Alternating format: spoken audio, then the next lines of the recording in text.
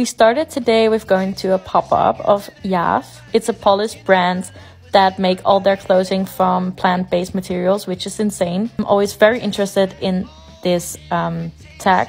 One of the pieces and I could definitely see myself wearing their whole collection this summer. Treated myself for a pain chocolat because it's so freaking delicious. We found this vintage pop-up and they had so many good pieces. Also jewelry, which I really, really love but the prices for me were just a little bit too expensive. I found a Gucci top, which I really loved, but it was still 200. Olivia found some cool glasses. This was my little outfit of the day.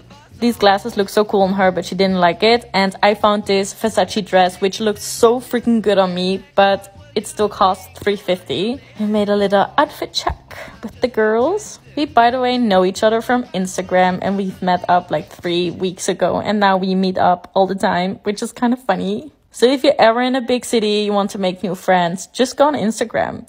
That's how you make friends these days. I mean i've been making friends like this for the past years so i can definitely recommend. My boyfriend turned 25 so we went for dinner at a very fancy restaurant and the dessert was not